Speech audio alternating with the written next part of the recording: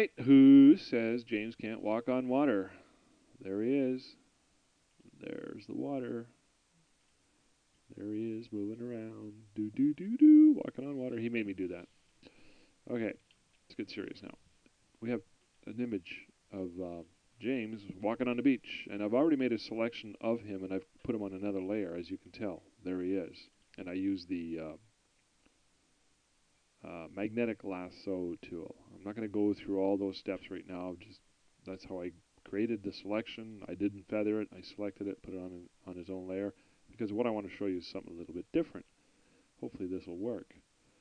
We're going to go on the bottom layer, which is the layer we're going to work on with the blurring of the water, motion blur, and it's blurring in the direction of the water we want it to go to, so might adjust that a little more, maybe not too, too strong. Say about that. And the reason I put him on his own layer uh, was because James told me to. Actually, he pointed this out. You can tell there's some ghosting of the image, so you don't want to have that showing up when you go to erase back to the water history state.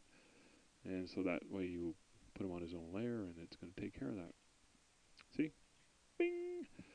So anyways, uh, we go back in history and we put the history brush right there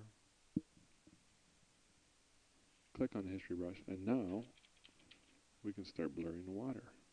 And I hope this is going to work. You know, a lot of fun with this. Ah, we still have ghosting.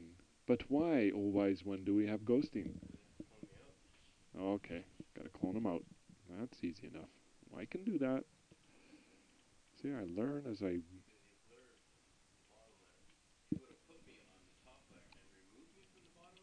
Let's go back in history. Okay, we're going to do this. I'm going to modify. I just got instructions from the wise one behind me here. We're going to click off the top layer. And we're going to take... it's just so simple. And yet at the same time, it's so elegantly effective. So we're going to go in we're just going to clone him right out. Yeah, no, yeah, he's on the top layer. He's he's bugging me. He's behind me. He's breathing down my neck, making sure I do this right. So we want to avoid that ghosting. There he is. But this is on its own layer, obviously. So we're on the bottom layer now. Now, now let's do some fancy blurring. Motion blur. Woo! Okay. I won't sing, I promise. So we're going to go back in history. And if you feel a thud, that's James hit me in the back of the head. And I know, I know he'll do a better job, but we're just going to show you the basic principles. I'm going to not blur that much.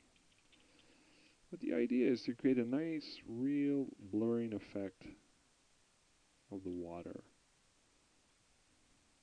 So it almost looks like he's walking on water.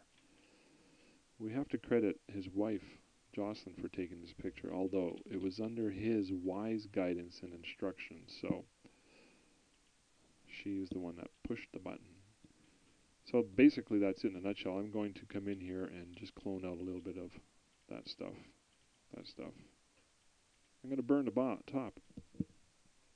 Whatever. Okay.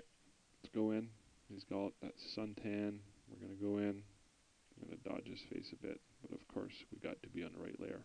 Well, you know what? I'm going to solve that right now. I'm going to flatten the image, and I'm just going to dodge his face a little bit. And there it is. There it is in a nutshell. James walking on water using the blurred technique. Very, very simple. Try it out. It works.